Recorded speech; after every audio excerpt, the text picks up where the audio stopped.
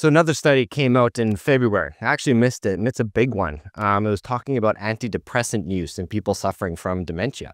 So when you have dementia, um, as you can imagine, a lot of people suffer from depression, and so doctors quite often prescribe antidepressant to help with that, which is which is a good thing.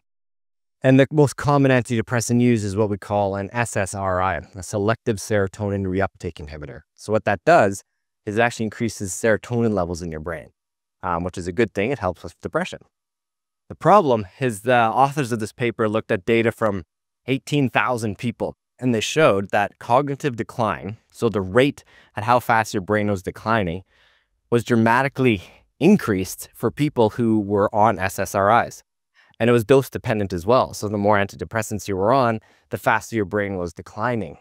Interesting study because now we have to weigh the positives and negatives of it. Yeah, it helps with depression, but it also causes whatever disease or brain degenerative condition you have to proceed a lot quicker.